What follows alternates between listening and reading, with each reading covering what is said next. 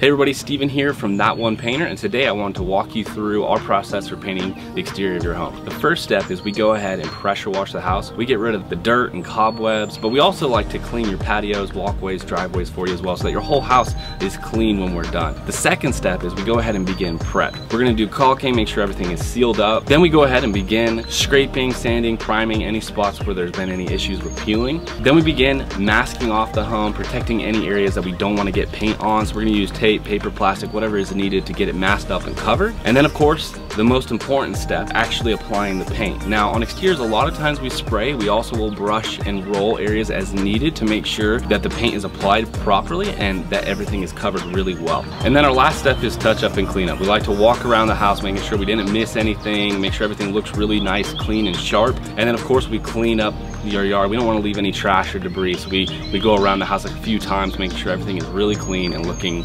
awesome. So if you want to get a quote for your house, just go ahead and give us a call or fill out a form our website. We would love to hear from you. We'd love to work with you. Thanks for listening.